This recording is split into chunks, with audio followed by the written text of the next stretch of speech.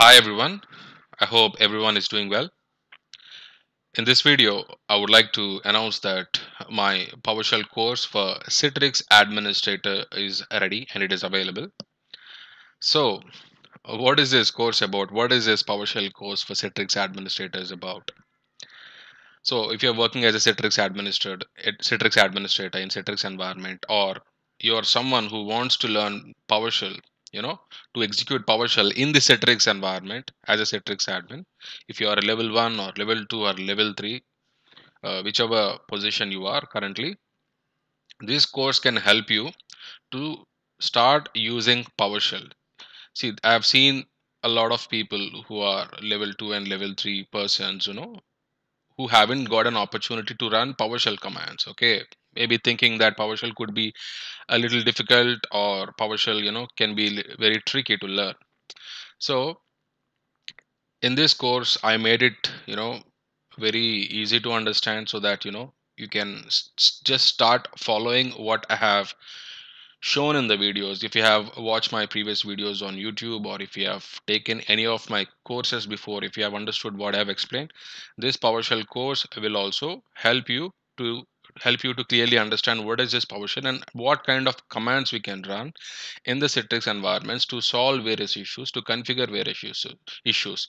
So let's say if something is not working in the Citrix environment, so you, you may be having hundreds of PowerShell commands, but you should know exactly which PowerShell command you need to run and what output you need to check. What what you need to check exactly. So just just because you have a PowerShell command, you run it, but if you don't know what to see and what what is the what is the you know what is the point you need to notice from that output, then you will not be able to move forward. So in this video, I made it very clear i made it very clear that you can see those things or you can you can see those things you can understand like what what things that you need to check to troubleshoot those kind of issues. Okay so let me scroll down a little bit okay so the course name is powershell course for citrix admins and this course is made to help Citrix administrators to guide them on how to start using PowerShell to run important commands, troubleshoot issues, and configure things in the Citrix environment. This course will help you to help you to start using PowerShell without much hesitation. By the end of the course, you will quite comfortable. You will be quite comfortable executing PowerShell commands to solve issues in Citrix environment. So if you if you haven't got an opportunity to run PowerShell or if you had some kind of hesitation to run PowerShell in production environment or you know uh, test environment, this course will definitely help you step by step. I told you like this needs to be checked this output needs to be checked. And if you follow these things end of the course you will be able to understand how to solve issues okay? So if you come with a mindset that okay naresh is going to teach something i can learn something from his experience using powershell then please enroll to this course. If you are coming with a mindset that you want to become a powershell champion and you want to you know become an expert by the end of the end of the course then this may be this may not be the right course for you okay? This is this course is made thinking only about Citrix administrators in mind. Okay, it's for Citrix administrators. If you want to run some other commands, then it's not for you. This is for Citrix. If you are watching my video and if you're a Citrix admin, if you are interested about Citrix, then this is the course for you, PowerShell course for you. Okay, I just want to highlight that before. Okay, let me scroll down.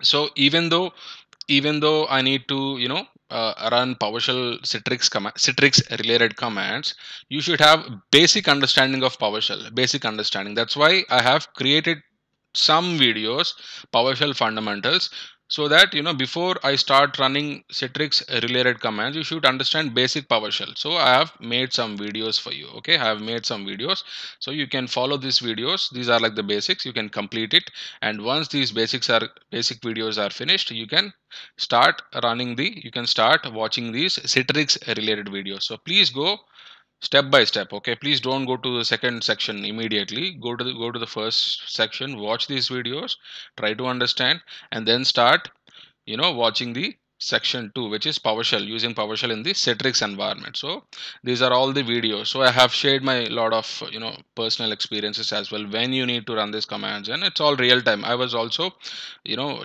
not just running the commands. I was you know I, I had I had the lab environment with me. So I was just showing the output as well. I have I was comparing the real time you know things that you might get in the Citrix environment and how you need to run these commands parallelly. So so these are all the topics that i have covered. So so it starts from here how to you know activate commandlets on delivery controllers using powershell. I went deep actually. I i did some you know uh, you know i gave more information about these topics like how to troubleshoot desktop delivery control. This is very important. See this is like the health check that you need to do you need to do in the citrix environment. So how to troubleshoot the desktop delivery controllers and what you need to check exactly. That is very very important okay? What what you need to check exactly when you get the output. How to perform live test. How to check the status of service services.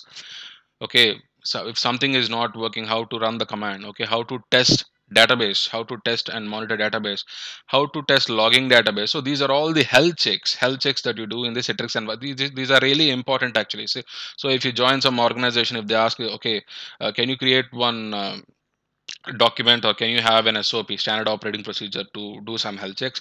If you you know if you make a document out of these things it will be well noted okay? This is more than enough okay? How to do database connectivity okay? Uh, you know these commands are really important. Get set remove reset your you know complete powershell course you know depends upon these commands. So you should have uh, some idea about when to run these kind of commands okay? So how to how use get help okay? How to it's a, it's a get help is like a command that you use in the citrix environment i mean in the powershell to know to navigate through different issues. So get help can really help actually. So i have discussed in uh, you know in detail like how we need to use this command to you know find various things. So these are how to enable local host caches. So this is one of the important things that you know we need to know why we are using PowerShell. See, localhost cache.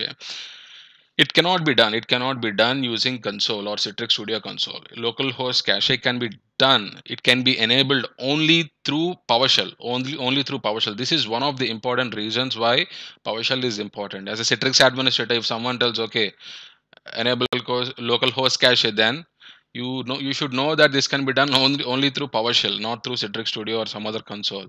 So this video can really help you. It's 11 minutes video. So how to keep servers under maintenance mode, how to disable servers in maintenance, and how to enable maintenance for 100 machines using a single command. So I have covered all the important topics that a Citrix administrator, you know, uh, needs in the Citrix environment. Okay, so the course is ready. The course is ready.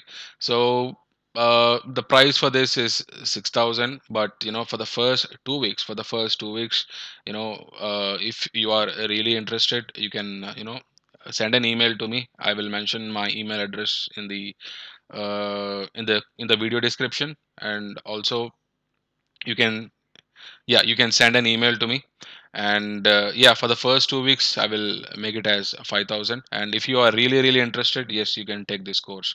So what else? What else? Yes yes.